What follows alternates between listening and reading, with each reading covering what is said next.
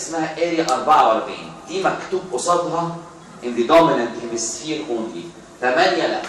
8 موجود منها يمين موجود منها شمال. لا. اللي بعد كده 44 اسمها Broca's area Broca's area دي بتاعت الكلام. دي مش محتاج منها نسختين. محتاج منها نسخة واحدة بس عشان تقرر تتكلم. وخلي بالك بقى الكلام في ال neurology مش معناه كلام زي اللي بنتكلمه ده.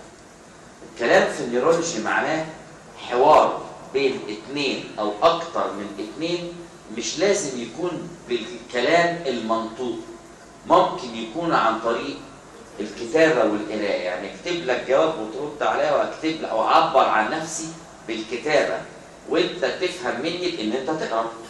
يبقى speech في ال neurology معناه حوار بين ناس يا إما كلام منطوق يا إما كلام مكتوب. أول حاجة يعني مهم إن أنت تقدر تعبر عن نفسك.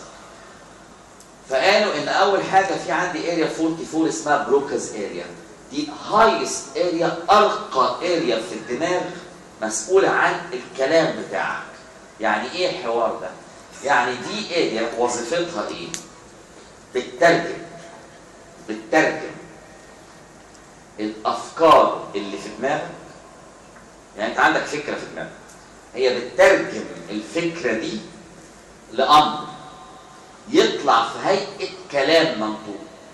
مثلا قابلت واحد الصبح وخلاص أنت عايز تديله تحيه التحية دي هتقول له صباح الخير سلام عليكم أي حاجة. التحية دي هي الفكرة اللي في دماغك. هي هتترجم الفكرة دي لأمر يطلع في هيئة الكلام اللي أنت نطقته يعني أنت جيت في دماغك هتحييه تحيه تقول له آه صباح الخير الجملة دي فكرة دي اللي بتطلع الفكرة بتطلع من هنا طب هي الفكرة طلعت من هنا يبقى أنت عشان تطلع الفكرة دي محتاج كذا area ولا كفاية واحدة؟ واحدة آه بس مين اللي بينفذ؟ مين اللي بيحرك اللسان؟ اللسان اللي بيتكلم ده muscle ولا إيه؟ والبق ده. muscle طب مين اللي بيحرك ال muscle؟ ال area اللي بتحرك ال muscle اللي هي area كام؟ أربعة. طب يبقى معنى كده إن 44 دي لازم تبقى متوصلة بال area اللي بتنفذ اللي هي أربعة. لكن الفكرة طالعة من أربعة؟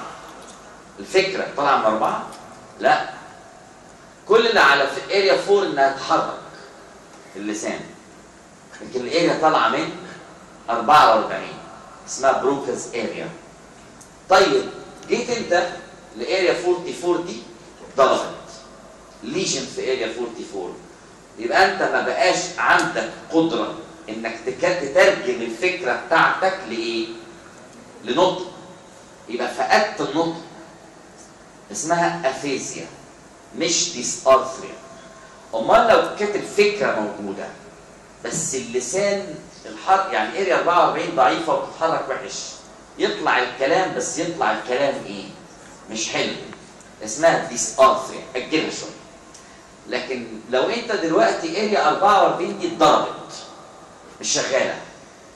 يبقى أنت مش قادر تطلع الفكرة. فمش قادر تترجم الفكرة بتاعتك لكلام منطوق. اسمها فقدت النطق. aphasia ودي أول نطق لل aphasia نقوله النهارده. طب بس خلي بالك تقابل واحد الصبح عايز تحييه تقول له صباح الخير. أه مفيش. مش هخاف دي اسمها ما نطقتش بس الفكرة كانت في دماغك عايز تعملها بس مفيش. طب دي مش عيب area أربعة.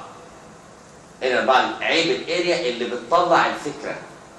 دي اسمها عدم القدرة على النطق. وبالتالي هتفقد قدرتك إنك تعمل إيه؟ حوار. السؤال هنا إن لما اتضربت اريا 44 دي يبقى العيب في الحوار هنا. عيب إن أنت مش عارف تطلع ولا مش عارف تتلقى. مش عارف تطلع العيب في إن أنت مش عارف تطلع الفكرة. دي اسمها بين قوسين motor aphasia motor يعني مش عارف تعبر عن نفسك بالكلام المنطوق. أمال لو كنت مش عارف تتلقى كان يبقى اسمها sensory aphasia أجلها شوية. يبقى أنا هكتب هنا على جنب في ال board motor aphasia verbal verbal يعني بالكلام المنطوق ولا بالكلام المكتوب؟ منطوق. area 44 ال area اللي بعدها زيها بالظبط 45 بس دي ما بتقدرش تعبر عن نفسك بالكتابة. بس طبعا given the fact إن لازم يكون بيعرف يقرأ ويكتب. area بعد كده؟ اسمها area اللي بعد كده؟ 45 اسمها Exner's area وال lesion اسمها agraphia agraphia يعني انت مش عارف تعبر عن نفسك بالكلام المكتوب. ال area اللي بعد كده على أعلى درجة من الأهمية اسمها paracentral lobule دي بتميزك عن بقية